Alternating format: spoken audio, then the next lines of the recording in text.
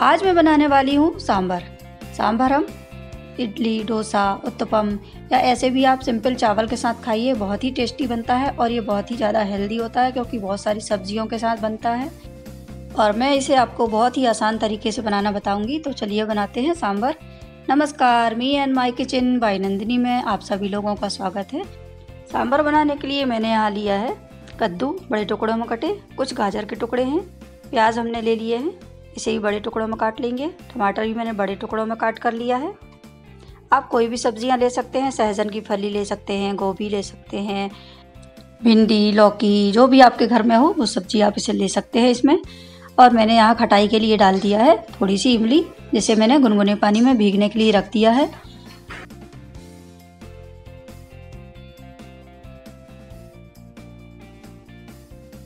हम एक कुकर में तेल डाल लेंगे उसमें डालेंगे जीरा।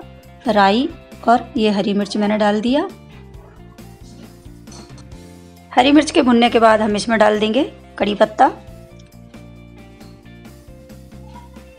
कड़ी पत्ते का टेस्ट सांभर में बहुत ही अच्छा आता है तो आप कड़ी पत्ता ज़रूर डालें। अब हम इसमें डाल देंगे प्याज, जिसे हमने काट कर रखा था। प्याज को भूनेंगे।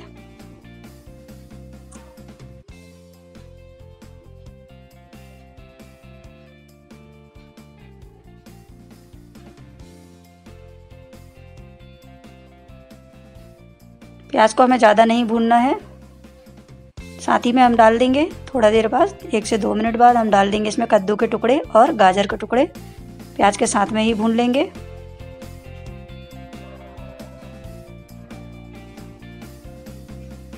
दो से तीन मिनट कद्दू और गाजर को भूनने के बाद हम इसमें डालेंगे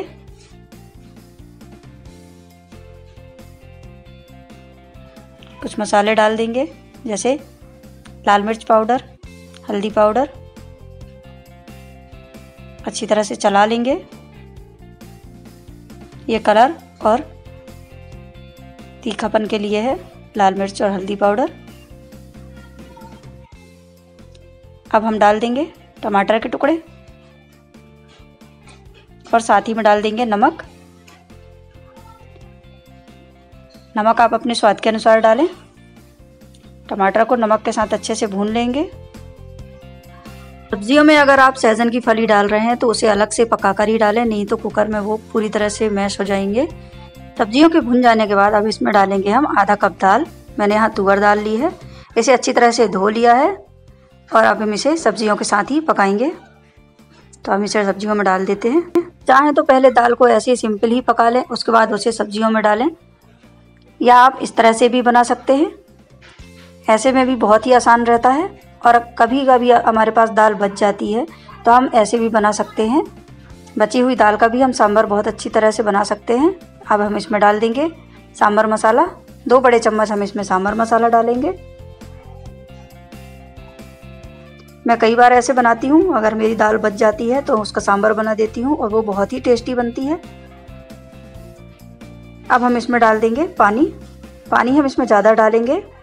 दो से तीन गिलास आप पानी डालें।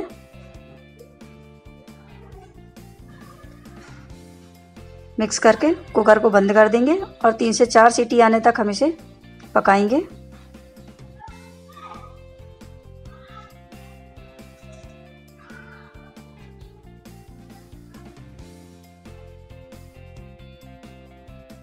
दाल हमारी पक चुकी है और कुकर भी ठंडा हो गया है तो चलिए देख लेते हैं। देखिए कितनी अच्छी तरह से बनी है दाल। सांभर हमारा बन चुका है और सब्ज़ियाँ भी पक चुकी हैं।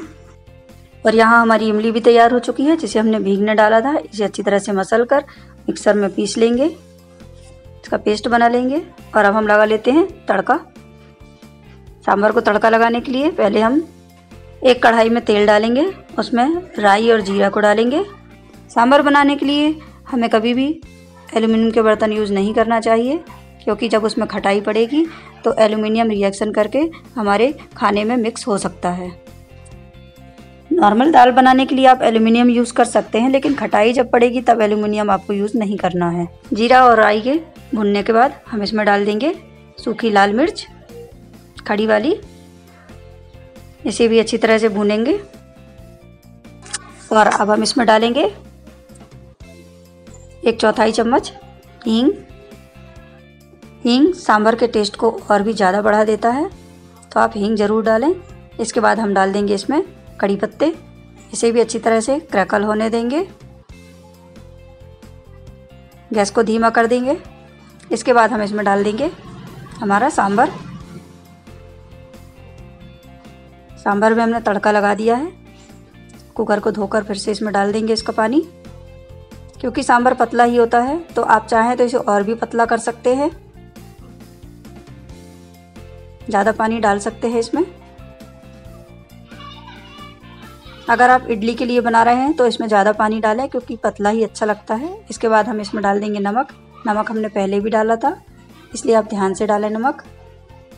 अब हम इसे ढककर पका लेंगे। देखिए, उबाल आ गया है। अब हम इसमें डालेंगे हमारा इमली का पल्प। आप अपने टेस्ट के अकॉर्डिंग डालें, जितना भी खट्टा खाना चाहते हैं। इसके अकॉर्डिंग आप खटाई डालें, इमली डालें। अगर आपके पास इमली नहीं है तो आप इसमें आमचूर पाउडर डाल सकते हैं, या आम सूखे वाले रहते हैं, वो भी डाल सकते हैं। खटाई आप दाल पकने के बाद ही डालें, नहीं तो दाल नहीं पकेगी।